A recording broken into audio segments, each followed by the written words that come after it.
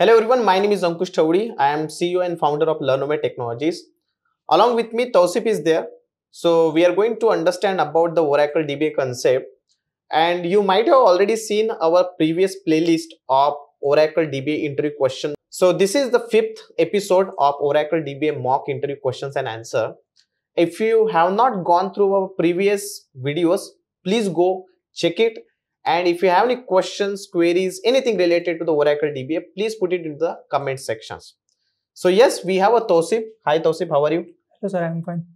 So Tausif, um, let me see how much you are comfortable with the Oracle DBA. Okay. Can you please tell me about your roles and responsibility as a DBA? Sir, my roles and responsibility as a DBA to maintain a database, to check database should be up and running uh, time to time, Okay. or we need to check storage related information Mhm. uh, that should be not full, Hmm, and uh, main sure that security related issue if any coming. So that's it. So let's say you have some issues with your database related to the bugs. Okay. So what you're going to do? What's your approach? Uh, first, if you- if come any issue, then we will check alert log file. Mhm. After that, uh, if any bugs is available, we'll apply patches. Mhm. Uh, for bugs, we especially use uh, uh, PSU. We can use directly. Okay. So what are the different different type of patches you have applied or you uh, know? different different patches uh, cpu patches available Hmm. and uh, psu patches and uh, one-off patch available Okay. uh, if you apply psu patch that's okay it will fix all the error Fine. So what utility you are going to use to apply the patch utility we use opatch utility Hmm. to apply patch and where it is available? it is available in oracle Home. Oracle Home. So can you tell me the step by steps to apply the patch? Step by step first we will check version of patch Hmm. if it is outdated we will update our opatch Hmm. after that we will check any conflict is available or Hmm. not uh, if it is all clear then we apply uh, directly patch Okay. then uh, after applying patch we will uh, check it uh, software level like uh, post script Hmm. or uh, data patch Data patch. Okay. okay if you want to check it is apply on database level you can use dba registry Hmm. met uh, view met table Okay. there you can check Fine. See, like in order to answer this question now, like you can start like always try to you know break down it into the three part, like the prerequisite. So before you apply the patch, what are all the steps you are going to perform? Like you are going to check the invalid object count. You are going to take the backup of your Oracle Home and Oracle inventory. You can also take the database backup also. okay Then you can say like, okay, then we are going to download the patch from Oracle support once you got the patch you are going to check the pre-checks. In pre-checks you are going to check whether the opatch version is um, you need to upgrade it or not. Then you can check whether you have any space issues are there whether you have any conflicts are there. So these are the prerequisite then you are going to upgrade the opatch if it is required. Then you are going to apply it like you are going to apply the patch. Patch. Okay. Once the patch is applied then the post steps will be like you are going to check the invalid object count here. So we are before and after your invalid Okay. object count should be correct Correct. and then you know uh, you can just check with the application team whether everything is fine or not so Correct. step by step go with them okay now apart from this what do you think like where i should ask the questions do you have any specific topic in your mind uh, yes sir you can ask on data pump related data pump utility okay Fine. So let's say I want to take the backup by using data pump utility. Okay But the problem is that I do not have sufficient space available on my mount point level. okay sir. So basically, I want to, you know, uh, let's say I have a table of size 100 GB, but I have 50 GB space available in one mount point, 50 GB space is available another mount point. okay sir. What you're going to do? So there is one parameter available. We can set multiple destination. Actually, parameter I don't remember, Hmm. uh, but there is one available. We can set multiple destination that it will show in different mount states. Acha. So basically, you need to create a two different directories. Yes, So first one will be point to pointing to the first directory, second one will point to the second directory. second directory. Correct. And you need to mention parallel equals to 2 also so that it should create multiple, multiple dump. Correct. What if I want to restrict the dump file size? Let's Okay. say I don't want my dump to be created more than 10 GB We can use file size parameter. file size parameter. And uh, let's take an example.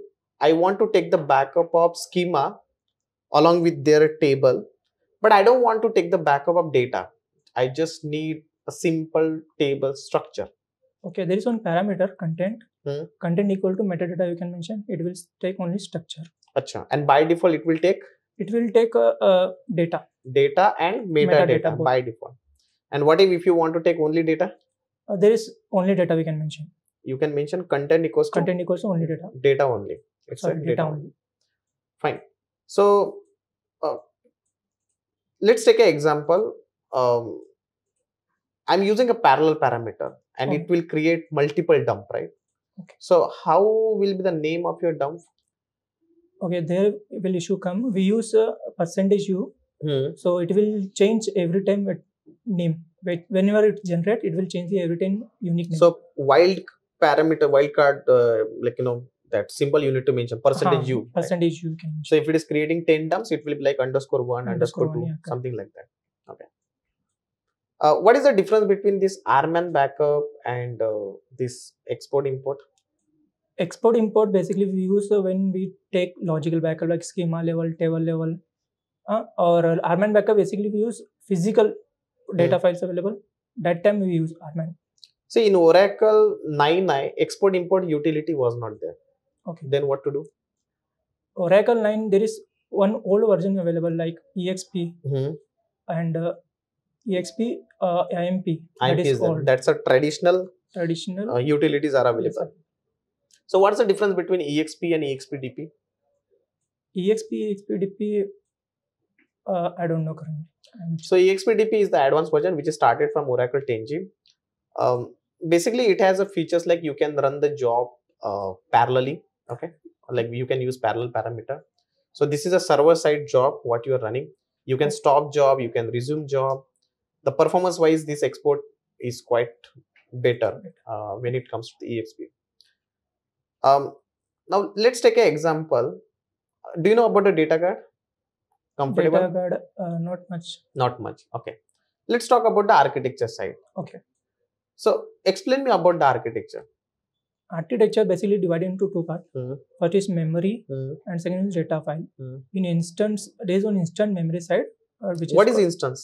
instant is a background process Mhm. for memory, Mhm. which we allocate to uh, database, and there is on SGACOM. It divide memory into three part: Mhm. shared pool and shared pool and uh, data buffer cache and the redo log file. It will divide into three part. Mhm. Whenever user come, it will go through the shared pool. It will check syntax and semantic errors. And uh, there is one data dictionary also, but it is store only metadata information. Mhm. After that, listener will come. If listener is correct, then uh, listener is okay. Then it will allow connection.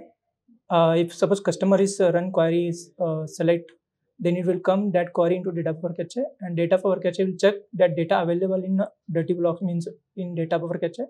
If it is available, then not available, then it will take from uh, data data files.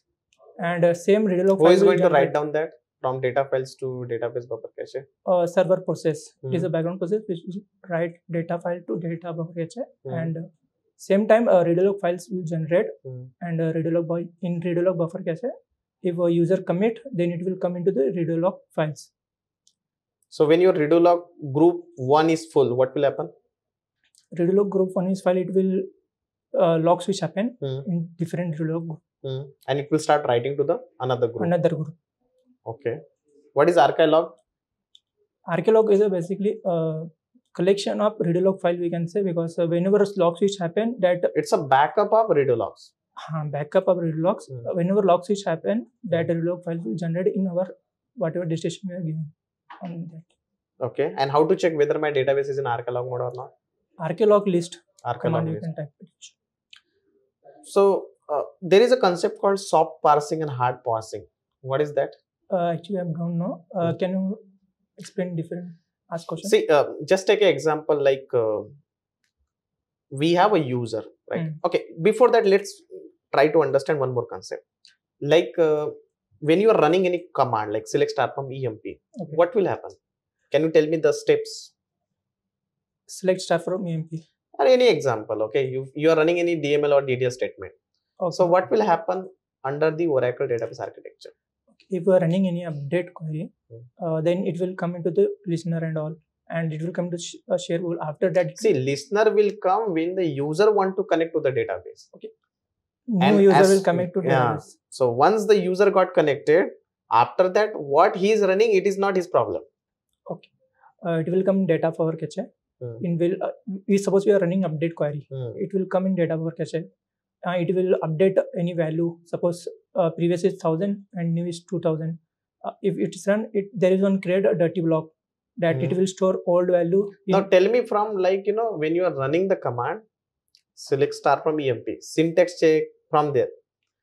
So you are running the command. First of all, someone will be there now who is going to check the syntax whether the Okay. syntax is correct in or not. shared pool it will check syntax Hmm. and semantic any error Hmm. and there is one optimizer is available Hmm. it will create a shortest path Hmm. to execute that query That is called execution plan. execution plan Hmm. after it will get- come in buffer cache database buffer So cache. let's say it has created multiple execution plan.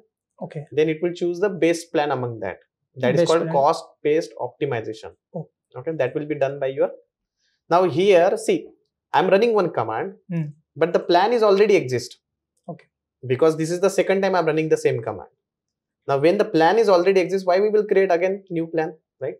We will use the same plan only, na. So that will save your time. You got my point? Let's say I want to create two home. So first home we already created a plan.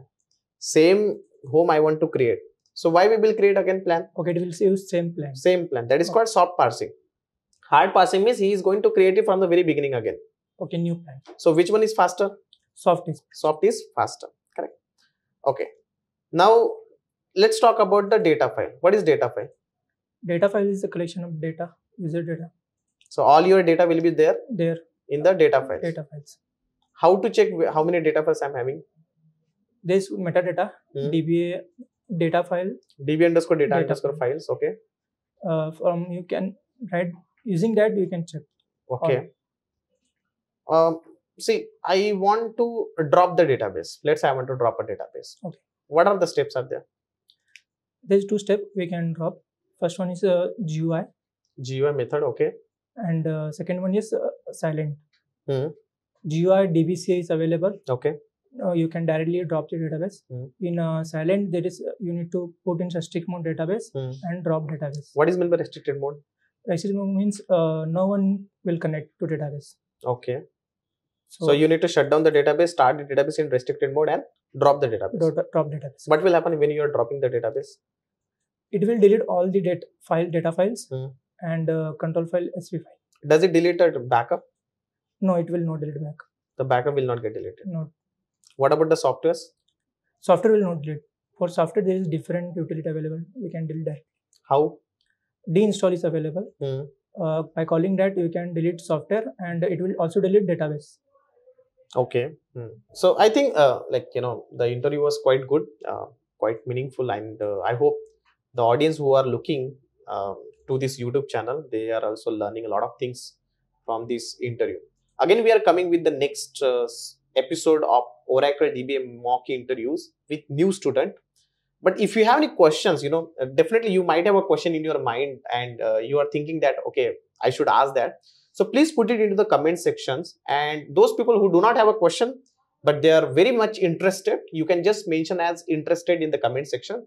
Again, so you will see a lot of contents available on our YouTube channel. You can share this mock interview with your family, friends, connections, or anyone who want to start their career into the DBA side. So thank you. Thank you so much for giving your valuable time.